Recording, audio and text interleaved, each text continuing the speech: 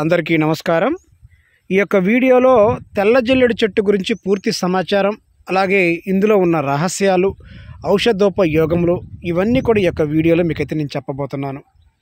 జిల్లెడు చెట్టు అనగానే మనకి ఒక రకమైన భయం. ఆ పాలు మన కంట్లో పడితే ఏదైనా ప్రమాదం అవుతుందా అన్న ఒక భయం అయితే ప్రతి ఒక్కరికి ఉంటుంది. మరి ఇది వాస్తవమేనండి. జిల్లెడు పాలు అనేది చాలా ప్రమాదకరం. ముఖ్యంగా కంట్లో పడకూడదు. కానీ జిల్లెడు పాలతో కూడా మన పూర్వీకులు వైద్యం చేసేవాళ్ళు. అలాగే జిల్లెడు ఆకులు జిల్లెడు పువ్వులు ఇవన్నీ కూడా అంటే ఎండు ఆకులు పచ్చి ఆకులతో కూడా వైద్యం చేసేవాళ్ళు. పై బెరడు వేరు దానితో కూడా వైద్యం చేసేవాళ్ళు. మరి ఈ వీడియోలో పూర్తి సమాచారాన్ని మీరు ఆశ్చర్యపోయే నిజాలు కూడా ఈ యొక్క వీడియోలో మీకైతే అందించబోతున్నాను. మరి జిల్లెల్లో రెండు రకాలు ఉంటాయి తెల్ల జిల్లెడు సాధారణ జిల్లెడు అని రెండు రకాలుగా ఉంటాయి. మరి తెల్ల జిల్లెడు అనేది చాలా అరుదైనది చాలా తక్కువగా మాత్రమే కనిపిస్తూ ఉంటుంది. సాధారణ జిల్లెడు అనేది మనకి ఎక్కడ పెట్టినా అక్కడ మనకు కనిపిస్తూనే ఉంటుంది. మరి అరుదైన తెల్ల జిల్లెడు ఎలా ఉంటుంది? సాధారణ జిల్లెడు ఎలా ఉంటుంది? మనం ఎలా గుర్తుపట్టాలంటే మొదట పూలను చూసి మనం గుర్తుపట్టచ్చు. ఒకసారి చూడండి. ఈ జిల్లెడు చెట్టు అనేది దీని యొక్క పువ్వులు తెల్ల జిల్లెడు పువ్వులు ఎలా ఉన్నాయో మీరు చూడండి. పూలు అన్నీ కూడా తెలుపు వర్ణంలో ఉంటాయి.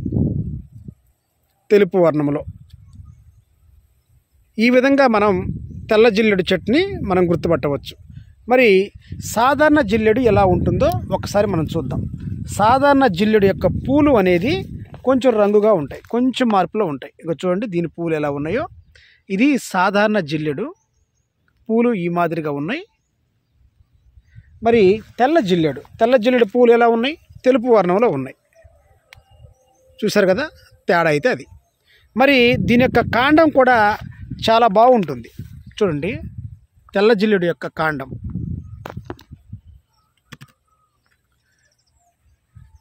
ఈ మాదిరిగా ఉంటుంది. పూర్తి తెలుపు వర్ణంలో తెల్ల జిల్లుడు యొక్క కాండం అనేది ఉంటుంది. మరి ఒకసారి చూడండి. దీని యొక్క కాండం అనేది కొంచెం రంగులో ఉంటుంది. అంటే సాధారణ జిల్లెడికి తెల్ల జిల్లెడికి మధ్య వ్యత్యాసం అయితే మనకు అర్థమైపోయింది. చూసారు కదా కాండం ఎలా ఉంటుందో? తెల్ల జిల్లెడు కాండం ఇది. పువ్వులు తెలుపు వర్ణమే కాకుండా కాండం కూడా తెలుపు వర్ణం ఉంటుంది. మరి ఎక్కడైతే తెల్ల జిల్లెడు చెట్టు మొలిచిందో దాన్ని పవిత్ర ప్రదేశంగా మన పెద్దలు చెప్పారు. ఎక్కువగా దేవాలయ ప్రాంతాల్లో ఎక్కువగా మొలుస్తూ ఉంటుంది. ఒకవేళ అక్కడ లేకపోయినా కూడా ఈ మొక్కని తీసుకొచ్చి నాటుతూ ఉంటారు. అంటే ఈ యొక్క తెల్ల జిల్లెడు మొలిచే ప్రదేశాన్ని పవిత్ర ప్రదేశంగా అలాగే పవిత్ర ప్రదేశాల్లోనే ఈ తెల్ల జిల్లెడు మొలవాలి ఉండాలి అన్నట్టుగా చెప్తూ ఉంటారు. మరి ఎందువల్ల అంటే తెల్ల జిల్లెడు అనేది సాక్షాత్తు భగవంతుని యొక్క స్వరూపం. తెల్ల జిల్లెడు భగవంతుని యొక్క స్వరూపం అంటే ప్రతి ఒక్క దేవుడు కూడా ఇందులో కొలువై ఉంటాడు అని చెప్పి మనకు ఆయుర్వేద గ్రంథాలు చెప్తూ ఉన్నాయి. ఇంకా ఏంటంటే ఎక్కడైతే తెల్ల జిల్లెడు మొలిచిందో అక్కడ నలభై సంవత్సరాలు గడిచిన తర్వాత ఈ చెట్టు పెరిగి పెద్దయిన తర్వాత మొదలు ఆకారంలో సహజంగానే ఎవరు చెక్కకుండానే గణపతి ఆకారంలోకి వస్తుంది అని చెప్పి మనకి ఆయుర్వేద గ్రంథాలు చెప్తూ ఉన్నాయి. అలాగే తాళపత్ర గ్రంథాలు కూడా చెప్తూ ఉన్నాయి. మరి ఇంత అమూల్యమైన ఇంత ఔషధోపయోగములు కలిగి ఉన్న ఇంత పవిత్రమైన యొక్క వృక్షాన్ని తెల్లజిల్లెడు వృక్షాన్ని సంస్కృతంలో అర్క అంటారు. అర్క అంటే సూర్యుడు అని అర్థం. అర్క అంటే ఉష్ణం అని కలి- అర్థం. అంటే సూర్యుడు అంటే ఉష్ణ స్వభావం కలిగి ఉంటాడు అని అర్థం. కాబట్టి ఇప్పుడు ఈ తెల్ల జిల్లెడిని అర్క అని అన్నారు.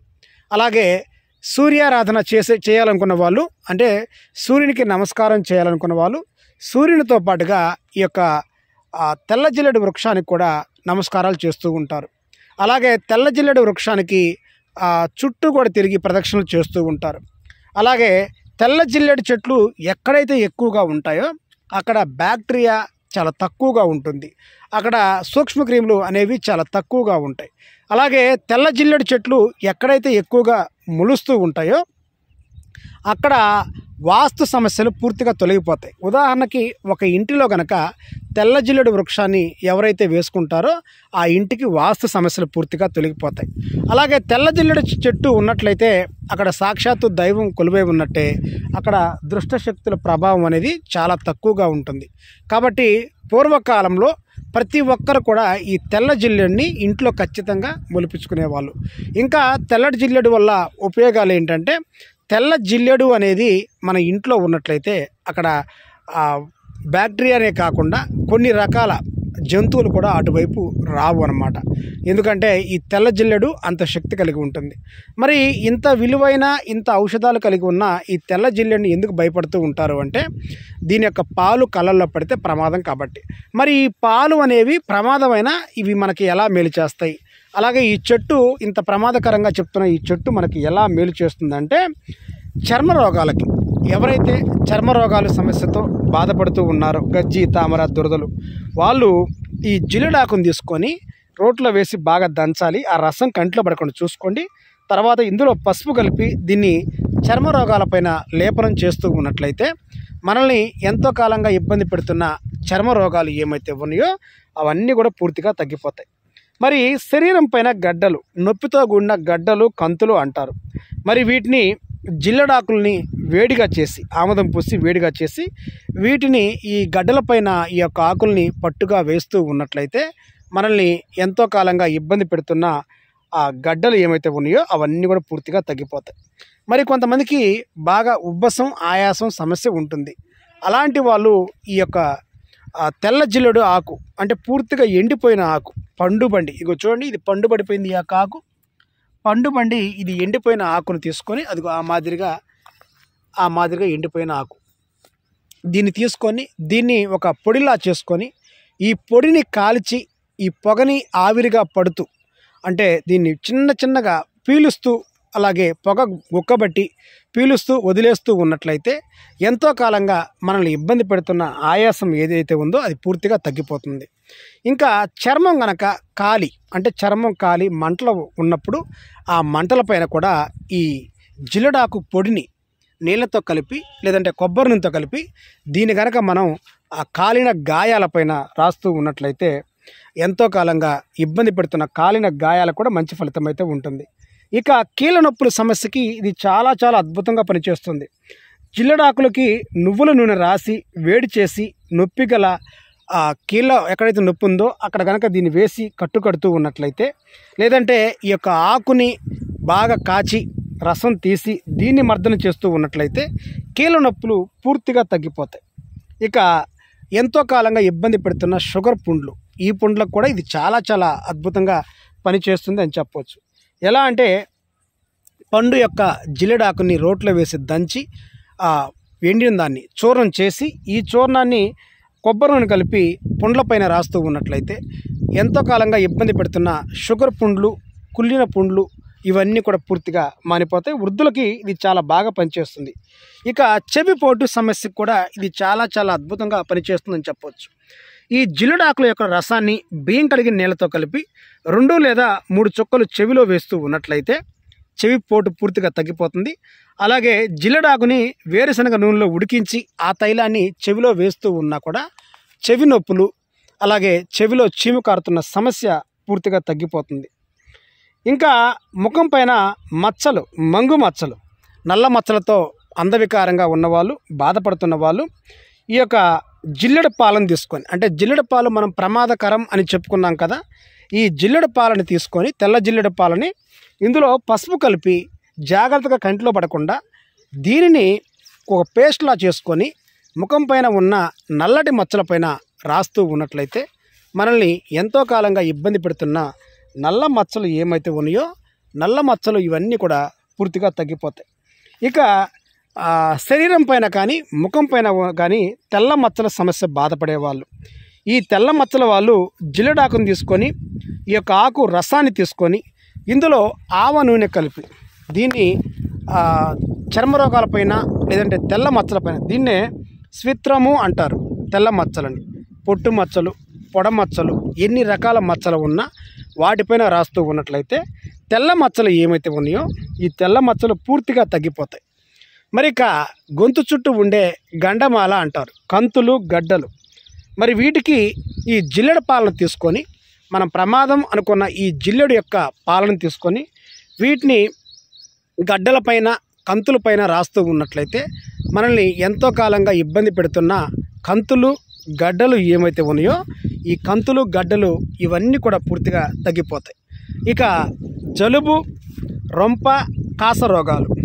దగ్గు విపరీతంగా వస్తున్న దగ్గు రోగాలకు కూడా చాలా చాలా అద్భుతంగా పనిచేస్తుంది. మరి ఎట్లా అంటే ఈ తెల్ల జిల్లుడు యొక్క పూలు తీసుకోవాలి. వీటిని నీడలో ఆరబెట్టాలి. ఈ యొక్క చూర్ణం చేసుకొని దీన్ని బాగా పొడి చేసుకొని చూర్ణం చేసుకొని వస్త్రకాలితం చేసుకొని ఈ చూర్ణం పొడిలో తగినంత బెల్లం కలిపి ప్రతిరోజు కూడా అర స్పూను మాత్రమే గుర్తుపెట్టుకోండి. బెల్లం కలిపిన తర్వాత అర స్పూను ఒక పరిమాణంలో మనం తీసుకుంటూ ఉన్నట్లయితే గోళీలు చేసుకోవచ్చు ఆ పొడిని కలుపుకొని కూడా తినవచ్చు ఇలా చేస్తే దగ్గులు జలుబు అలాగే ఆయాసం ఎన్నో రకాలుగా ఇవన్నీ కూడా పూర్తిగా తగ్గిపోతాయి. ఇక ఎంతో కాలంగా ఇబ్బంది పెట్టే కోరింత దగ్గు. మరి కోరింత దగ్గు గురించి తెలిసిందేనండి? ఊపిరి ఆడకుండా దగ్గు వస్తుంటుంది. దానికి కూడా ఇది చాలా చాలా బ్రహ్మాండంగా పనిచేస్తుంది. ఎలా అంటే ఈ యొక్క జిల్లెడు పువ్వులని చూడండి తెల్ల జిల్లెడు యొక్క పూలని ఆ పూలని కింద రెబ్బలు తీసేసి పైన పుడిపు తీసుకొని ఆ యొక్క పూలని బాగా ఎండలో ఎండబెట్టి ఎండిన తర్వాత కాల్చి భస్మం చేసి తేనెతో కలిపి ఒక చిటికెడు పరిమాణంలో రోజు సేవిస్తూ ఉన్నట్లయితే ఎంతో కాలంగా ఇబ్బంది పెడుతున్న కోరింత దగ్గు పూర్తిగా తగ్గిపోతుంది. ఇక దంతశోల దంతానికి సంబంధించి కదులుతున్న పళ్ళు దంతాలు లేదంటే చిగులు సమస్య చిగుళ్ళ నుంచి రక్తం కారటం ఎన్నో మందులు వాడి విసిగి వేసారిపోయిన వాళ్ళకి అద్భుతంగా పనిచేస్తుందండి. ఈ జిల్లెడు పుల్లతో ఇదిగో మీరు చూడండి ఈ చూస్తున్న ఈ జిల్లెడు పుల్లతో పళ్ళు తోముకుంటూ ఉండండి. మీకు ఆశ్చర్యం కలగవచ్చు వేప కానుగ ఇలాంటివి మేము చూసాం కానీ విన్నాం కానీ ఈ జిల్లెడతో మేము ఎప్పుడు చూడలేదని చెప్ అనుకుంటారు. కానీ ఒక్కసారి దీనితో కనుక మీరు పళ్ళు తోమారు అంటే కదులుతున్న దంతాలు బిగుసుకుపోతాయి. చిగురు నుంచి రక్తం కారుతుంది ఆగిపోతుంది. అలాగే పళ్ళ నొప్పులు పంటి సమస్యలు నోటికి సంబంధించిన అన్ని సమస్యలు తొలగిపోతాయి. దీన్ని పళ్ళు తోముకుంటూ ఊసేస్తూ ఉండాలి తప్ప ఆ రసాన్ని మింగకుండా ఉండాలి. ఆ విధంగా చేసుకోండి. చాలా చాలా అద్భుతంగా పనిచేస్తుంది పంటి సమస్యలకి. కానీ జిల్లెడు చెట్టు అనగానే ప్రమాదకరం కాబట్టి ఎవరు కూడా దీన్ని సాహసించరు. కానీ ఒక్కసారి ప్రయత్నం చేయండి. తగినంత పూలు కానీ పట్ట కానీ నేను చెప్పినట్టు మీరు వాడండి. ఇవన్నీ కూడా ఆయుర్వేద గ్రంథపరంగా నేను చెప్తూ ఉన్నాను. అలాగే కామెర్ల వ్యాధికి ఇదొక తెల్ల జిల్లెడు అనేది ఒక అద్భుతమైన ఔషధం. ఎలా అంటే జిల్లెడు చెట్టు యొక్క వేరు దీని భూమిలో తవ్వగా వచ్చిన వేరు ఆ వేరు పైన ఉన్న పట్ట అంటారు. అంటే పై బెరడు అని అర్థం. వేరు పైన ఉండేదాన్ని. దీన్ని నీడలో ఆరబెట్టి బాగా దంచి చూర్ణం చేసుకొని ఈ చూర్ణాన్ని మిరియాల పొడితో కలిపి తగినంత మిరియాల పొడితో లేదంటే పాలు లేదంటే పంచదారతో కానీ కలిపి ఒక అర స్పూన్ మోతాదుగా సేవిస్తూ ఉన్నట్లయితే పచ్చకామెర్ల వ్యాధి అనేది పూర్తిగా నిర్మూలన జరుగుతుంది. పచ్చకామెర్ల వ్యాధికి ఇది ఒక అద్భుతమైన సంజీవిని అని చెప్పవచ్చు. ఇక విష జంతువుల కాటు. విష జంతువుల కాటు వేసినప్పుడు చాలామంది ఆ కాటుతో భయపడుతూ ఉంటారు బాధపడుతూ ఉంటారు నొప్పి భరించలేకుండా ఉంటారు. అలాంటి వాళ్ళు జిల్లెడు ఆకు అలాగే ఈ పువ్వులు ఆకుల్ని నీడలో ఆరబెట్టి దంచి పొడి చేసుకోవాలి చూర్ణం చేసుకోవాలి. అలాగే పూలను కూడా నీళ్ళలో ఆరబెట్టి బాగా దంచి పొడి చేసుకోవాలి. ఇప్పుడు ఆకులు పువ్వులు ఈ రెండు చూర్ణం తగినంత మిరియాల పొడి కలిపి తినిపించాలి. తినిపిస్తే మనల్ని ఇబ్బంది పెట్టిన ఆ జంతువుల కాటు అంటే ఏదైనా ఒక జంతువు మన పైన దాడి చేసినప్పుడు దానికి విరుగుడు ఈ తెల్ల జిల్లెల్లో ఉంది. అద్భుతంగా పనిచేస్తుందండి. ఇక విరోచనాలు. విరోచనాలు రోజుల తరబడి ఇబ్బంది పెడుతూ మనకి ఒంట్లో ఉన్న నీటి శాతం అంతా తగ్గుతున్నప్పుడు ఈ జిల్లెడు చెట్టు పైన ఉన్న పట్ట అదిగో చూడండి. ఈ పట్టని తీసుకొని నీడలో ఆరబెట్టి లేదంటే ఈ ఎండిన పట్టని తీసుకొని దీన్ని బాగా దంచి పొడి చేసుకొని ఇందులో పల్చటి మజ్జిగ కలిపి దీన్ని త్రాగుతూ ఉండాలి. ఇలా చేస్తూ ఉన్నట్లయితే విరోచనాలు వెంటనే కట్టుకుంటాయి అద్భుతంగా. ఇక తిమ్ముర్లు. కొంతమందికి చేతులు కాళ్ళు అలాగే లాగుతూ ఉంటాయి తిమ్మిర్లు అవుతూ ఉంటాయి. ఇది వృద్ధుల్లో ఎక్కువగా ఉంటుంది. లేదా యువతీ యువకుల్లో కూడా నరాల బలహీత బలహీనత ఉన్న వాళ్ళకి ఈ సమస్య ఎక్కువ ఉంటుంది. అలాంటి వారు దీని యొక్క వేరు భూమిలో దీని తవ్వగా వచ్చే వేరు తీసుకోవాలి. ఈ వేరు యొక్క చూర్ణాన్ని తీసుకొని అంటే నీళ్ళలో ఆరబెట్టి దంచి చూర్ణం చేసుకొని దీనిలో వెన్న కలిపి సేవిస్తూ ఉండాలి. ఇలా చేస్తే నరాల బలహీనత తగ్గటమే కాకుండా యువతి యువకులు అలాగే వృద్ధాప్యంలో వచ్చే ఈ బలహీనతలు తిమ్ముర్లు చేతులు కాళ్ళు లాగటం అన్నీ పూర్తిగా తగ్గిపోతాయి. ఇక బోధకాల సమస్యకు కూడా ఇది చాలా అద్భుతంగా పనిచేస్తుందండి. బోధకాలు వల్ల కాలు వాపు నొప్పి బాధపడుతున్న వాళ్ళు ఈ జిల్లెడు చెట్టు యొక్క వేరుని కలితో నూరి లేపనం చేస్తూ ఉండాలి. ఇలా లేపనం చేస్తూ ఉన్నట్లయితే వాపు తగ్గటమే కాకుండా నొప్పి బాధ కూడా తగ్గిపోతుంది. ఇక ఇది మొలల వ్యాధికి బ్రహ్మాస్త్రం అని చెప్పచ్చు. మొలల వ్యాధికి అద్భుతంగా పనిచేస్తుంది ఈ తెల్ల జిల్లుడి యొక్క పువ్వు. ఎలా అంటే ఏ మొలలైనా కానీ అరిష మొలలు కానివ్వండి రకరకాలుగా ఉన్న మొలలు నొప్పితో కూడిన మొలలు అలాగే రక్తం కారుతున్న మొలలు వాపు మొలలు ఇలా ఏ మొల సమస్యతో అయినా సరే బాధపడుతున్న వాళ్ళు ఒకసారి ఈ తెల్ల జిల్లుడి పువ్వుని తీసుకోండి.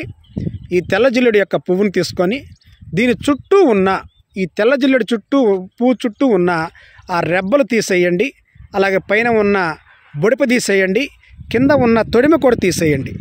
తీసివేసిన తర్వాత ఈ పువ్వు లోపల ఒక పువ్వు లోపల ఒక మిరియాల గింజ ఒక గింజను పెట్టండి. అది ఆ బొడిప తీసిన ప్రదేశంలో మిరియాల గింజ పెట్టండి. ఆ చుట్టూ ఉన్న రెబ్బలు కింద ఉన్న తొడిమ కూడా తీసేయండి. తీసివేసిన తర్వాత అంటే ఏ మాదిరిగా మీకు తీసివేయాలంటే మీకు ప్రత్యక్షంగా నేను చూపిస్తున్నాను. తెల్ల జిల్లెడికి పూర్తిగా శుభ్రం చేసుకునే విధంగా మనం తీయాలి. ఎలా అంటే ఇదిగో చూడండి ఈ మాదిరిగా చేసుకోవాలి పువ్వుని. ఇది మీ ముందు నేను తీసిన పువ్వే. అంటే ఏమి ఉండకూడదు. ఆకులు రెబ్బలు బొడుపులు ఏమీ ఉండకూడదు. ఇలా ఉండాలి. ఇప్పుడు ఇందులో ఒక మిరియాల గింజ పెట్టి దీన్ని మనం ప్రతిరోజు ఉదయాన్నే పరగడుపున ఐదు పూలు ఇలా చేసుకొని ఐదు మిరియాల గింజలు ఇలా పెట్టుకొని దీన్ని బాగా నమిలి మింగుతూ ఉండాలి. పరగడుపున ఐదు మాత్రమే. ఇలా ఐదు గింజలు ఐదు మిరియాలు ఐదు రోజుల పాటు ఐదు పరగడుపులు చేసి చేయండి. తర్వాత ఒక అరగంట దాకా కూడా మీరు ఏమి తాకూడదు తినకూడదు. ముందు తర్వాత కానీ. ఈ విధంగా చేసినట్లయితే మొలల వ్యాధి అనేది విచిత్రంగా మాయమవుతుంది. మొలల వ్యాధితో ఎంతో కాలంగా బాధపడుతున్న వాళ్ళకి ఇది చాలా చాలా అద్భుతంగా పనిచేస్తుంది. అయితే తెల్ల జిల్లేడు అనేది ఖచ్చితంగా ప్రతి ఒక్కరి ఇంట్లో అలాగే ప్రతి ఒక్క వీధిలో ప్రతి ఒక్క దేవాలయంలో కూడా ఉండాలి అని చెప్పి మనకు ఆయుర్వేద గ్రంథాలు చెప్తూ ఉన్నాయి. కారణం ఏంటంటే ఇందులో అణువణువు ఔషధోపయోగములే. కాబట్టి తెల్ల జిల్లెడు చెట్టు గురించి తెలుసుకోండి. దీని గురించి ఉన్న భయాలు పోగొట్టుకోండి. దీన్ని పూజించండి ఆరాధించండి. దీనికి నిత్యం కూడా మీరు ధూపదీప నైవేద్యములు అలాగే నమస్కార నీరాజనాలు పెడుతూ ఉండండి. తెల్ల జిల్లెడు చెట్టు మీకు కనిపించిందంటే మీరు ఖచ్చితంగా ప్రదక్షిణలు చేస్తూ మీరు పూజలు చేసి మీ మనసులో కోరికలు కూడా కోరుకోండి. ఖచ్చితంగా అంత శుభమే జరుగుతుంది. ఈ తెల్ల జల్లెడు చెట్టు అనేది సాక్షాత్తు భగవంతుని యొక్క స్వరూపం. అలాగే సూర్య నమస్కారాలు చేస్తున్న వాళ్ళు ఖచ్చితంగా తెల్ల జిల్లెడు చెట్టు యొక్క నమస్కారాలు కూడా చేస్తూ ఉండండి. అయితే పాలు కళ్ళల్లో పడకుండా ఒకటి చూసుకోండి. అదొక్కటే మాత్రమే. మరి ఈ వీడియో మీకు నచ్చినట్లయితే ఖచ్చితంగా షేర్ చేయండి. అందరికీ నమస్తే.